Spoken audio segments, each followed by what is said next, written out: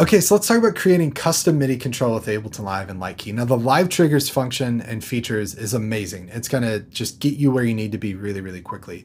But what if there's a scenario where you need to uh, control a fader, for example, in LightKey, and you want um, precise control over that instead of just on and off that you may get with the, the trigger, um, how do we make it to where we say this clip is gonna take it to this value, or we can actually program those fades and get the fades exactly the, the way we want to in Ableton. Here is how.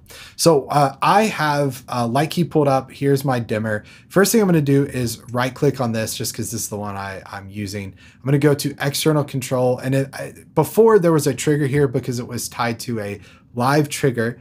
And if so, then what you want to do is do remove trigger. Okay. Next thing I'm going to do is do add trigger. So I'm going to create a custom trigger command for this custom MIDI mapping. Uh, I'm going to just go to this MIDI track that I have here. It really doesn't matter. And I'm going to do MIDI to key input. This part is really important. We've been using channel 16 for live triggers. We're going to make this anything other than channel 16. We can only use channel 16 on that LightKey input, virtual MIDI input. Um, we can only do that for channel 16 if we're using live triggers. So we're doing a custom trigger. So what we need to do instead is pick any other MIDI channel. I'm just going to pick MIDI channel 15. Okay. Uh, you can see it accidentally mapped. So we'll have to remap this in a second. So channel 15 is set up. Now let's double click uh, here in a, a blank clip slot. Okay. To create a MIDI clip. Um, and then I'm going to go down to this envelopes box. Okay. And in my clip here, I'm going to go to MIDI control and I'm going to choose a free CC command. So I'm just going to scroll all the way up. We'll make this like CC 119 because I know I'm not using that. I'm going to go to this line. It's a little hard to see, but I'm going to click to create a breakpoint. Click to create another breakpoint right here. Okay. So what this basically means is CC value 119, and I'm going from a range of zero right there all the way up to 127.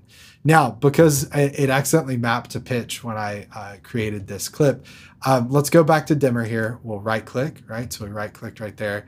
We're going to go to external control and we're going to do add trigger. Okay. So now what I'm to do back in Ableton Live is I'm just going to press play on this clip. You can see it's mapped there. You see the CC value moved it and we're going to click done. So it's mapped. So now as that clip is running, you can see our uh, fader is going up and then it's going to go down. Okay.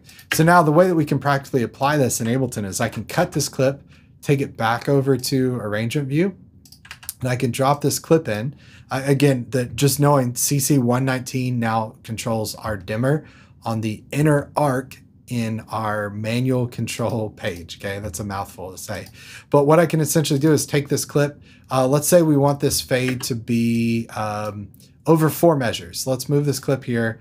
We're going to drag this to four measures. We'll do Command J to consolidate, uh, or um, we do Control J if we're on a PC. Then I'm going to delete all of these mappings, I just selected and deleted them. Let's say we just want to fade in, again, over that entire range. So we can create our fade. And now I can press play. You can see our dimmer is going up slowly. It's going to be in time because we already synced our tempo. And it's going to slowly go up to hit the range that we want.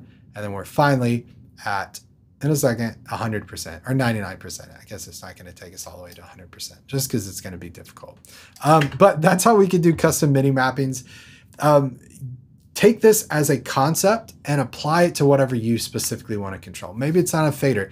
Maybe it's a control that um, not in live triggers, or you want to program all your lights in Ableton Live solely.